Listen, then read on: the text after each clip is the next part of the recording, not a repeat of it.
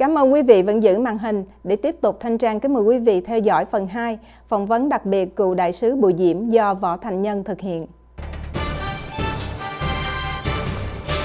À, kính chào, chúng tôi là Võ Thành Nhân và đến với chương trình phỏng vấn đặc biệt ngày hôm nay thì chúng tôi xin trở lại với lại cựu đại sứ Bùi Diễm để tìm hiểu một số những nhận định của đại sứ Bùi Diễm về vấn đề đối ngoại của Hoa Kỳ trong 18 tháng sắp tới trước khi chúng ta có cuộc bầu cử vào ngày 3 tháng 11 năm 2020. À, trước hết xin được kính chào đại sứ Bùi Diễm. Dạ. Vâng, tôi xin uh, cố gắng tiếp tục để trả lời nhân ờ, về những vấn đề của chính quyền Trump đối với những vấn đề ngoại giao. Chúng ta đã đề cập tới trong một ừ, buổi nói chuyện trước đây về tình hình nội bộ rối ren của Hoa Kỳ, sự chia rẽ trong chính giới Hoa Kỳ giữa Đảng Dân Chủ và Đảng Cộng Hòa, không những giữa hai đảng Cộng Hòa và Dân Chủ mà còn cả trong dư luận nói chung của người dân Hoa Kỳ đó. Một tình trạng mà không ai có thể đoán trước rằng sẽ đi tới đâu. Ngoại trừ trường hợp là người ta chờ chờ đợi cái cuộc biểu tình cuộc ừ, có kết thể quả bầu cử bầu cử sắp tới 10 18 tháng của năm 2020.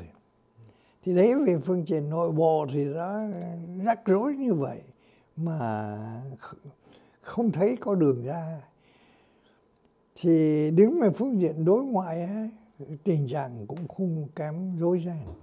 Dạ. bây giờ tôi kể lại như tôi đã nói lúc trước là những cái vấn đề đối nội cũng như đối ngoại của Hoa Kỳ hết sức phức tạp mà không ai có thể nghĩ rằng có đoán trước được cái tình hình sẽ xảy ra như sao.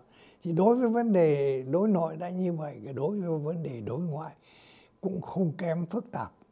Và vì vậy, cũng như tôi đã chỉ giới hạn cái phần trình bày của tôi vào những cái vấn đề nội bộ một cách hết sức sơ sài chứ không có thể có dịp mà đi sâu vào các vấn đề được nữa. Thì đối với vấn đề ngoại giao cũng vậy.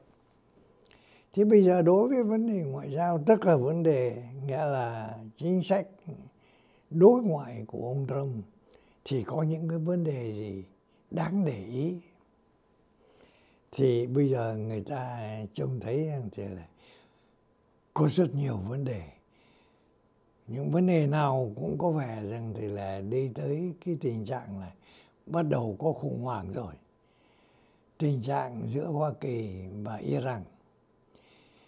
Tình trạng giữa Hoa Kỳ và Bắc Hàn. Tình trạng của Venezuela, Venezuela. Yeah.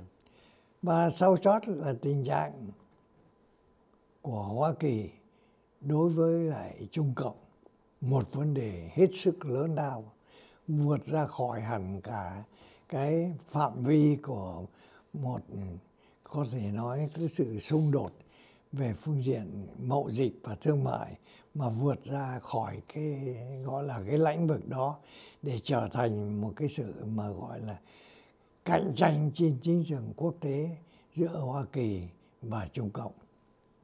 Thế bây giờ tôi lần lượt kể những cái kể những, những cái vấn đề đó. Và tôi cũng như là tôi đã trình bày tôi chỉ hết sức nói qua đến những cái vấn đề đó mà không dám đề cập sâu vào vấn đề đó bởi không có đủ thời giờ để mà đi sâu vào.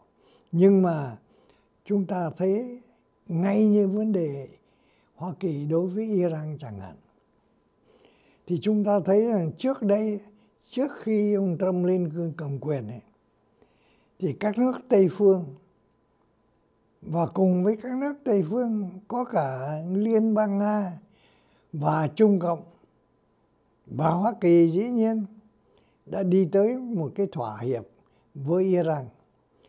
Thì cái thỏa hiệp đó nhằm mục đích là ngăn chặn không để cho Iran tiến quá xa trên cái con đường mà sản xuất những võ khí hạt nhân thì cái bản thỏa hiệp đó đã được ký kết một cách đàng hoàng dưới thời ông Obama rồi mà như tôi có trình bày là có cả sự đồng ý của Pháp, của Anh, của Đức, của Ý, của Liên bang Âu Châu và của Liên bang Nga và của Trung Cộng nữa. Thì cái bản thỏa hiệp đó đã được ký kết và người ta cho rằng thì chưa biết rằng thì 10 năm về sau sẽ ra làm sao, nhưng mà ít nhất ở trong hiện tại người ta đã tạm ngăn cản được, không để cho Iran, nghĩa là tiến tới trong cái chương trình mà, nghĩa là có thể nói sản xuất những vũ khí hạt nhân. Thế thì cái chương trình đó, à, cái bản thỏa hiệp đã được ừ, ký kết xong xuôi có rồi, tình trạng yên. Nhưng mà lúc ông Trump lên làm tổng thống thì không hiểu vì lý do gì về cái gọi là cái chủ sướng của ông trên vấn đề Trung Đông ra làm sao ông tuyên bố ngang xương là Hoa Kỳ rút ra khỏi cái bản thỏa hiệp đó không công nhận cái bản thỏa hiệp đó. Thì không công nhận bản thỏa hiệp đó thì cái bản thỏa hiệp đó có còn hay không? Thì người ta thấy rằng các nước Tây phương và Liên bang Nga và Trung Cộng vẫn tiếp tục giữ nguyên cái thái độ lúc trước mà cũng không tuyên bố gì cả. Đặc biệt coi như là cái cuộc cái bàn cái, cái, cái, cái sự thỏa vẫn còn được có giá trị thế thì sau khi mà ông Trump đã ờ, gọi là tuyên bố rút ra khỏi cái bản thỏa hiệp đó cái thì cái tình trạng nó trở nên gây cấn giữa Hoa Kỳ và Iran. Thì hai bên có những cái thái độ mỗi ngày mỗi trở nên quan hệ đối nghịch trở lại ông Trump không những rằng thì là rút ra khỏi cái thỏa, bản thỏa hiệp đó, mà còn áp dụng những cái biện pháp trừng phạt Iran để mà gần như là ép buộc Iran. Nhưng mà ép buộc không biết để đi đến đâu. Chỉ biết rằng thì là ông Trump ra lệnh rằng thì là có những cái biện pháp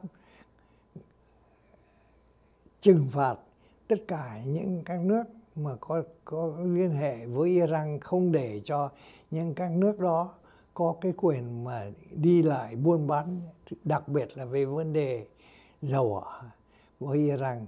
Nghĩa là Iran thì xuất cảng dầu, như ai cũng đã biết.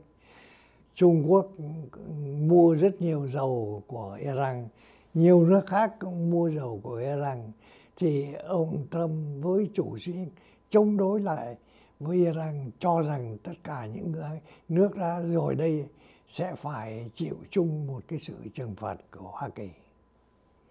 Thì cái thái độ hết sức mà có thể nói rằng thì là cực đoan đó đối với Iran người ta đặt câu hỏi phải chăng phải chăng là do cái, dưới cái sự xúc đẩy của nước Do Thái Israel mà ra bởi vì Israel với Iran là hai nước có thể nói rằng là đối thủ không đội trời chung với nhau. Người ta chỉ biết rằng thì là Israel ủng hộ hoàn toàn ông Trump trong những cái quyết định của ông ừ, Trump để mà có thể nói ép buộc Iran. Mà ép buộc để đi tới đâu? Bởi vì ông Trump nói rằng thì sẽ điều đình trở lại với Iran. Nhưng mà điều đình cái gì?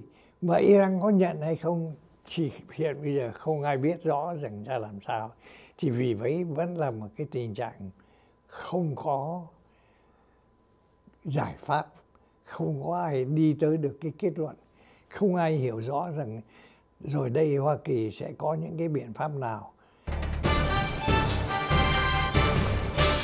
Kính thưa quý vị, bản tin Hoa Thịnh Đốn tối nay đến đây là chấm dứt. Mọi liên lạc hay đóng góp ý kiến xin email về Washington DC at sptn.tv. Thanh Trang kính chào và hẹn gặp lại quý vị vào kỳ tới. Kính chúc quý vị có một buổi tối an vui và hạnh phúc bên người thân và gia đình.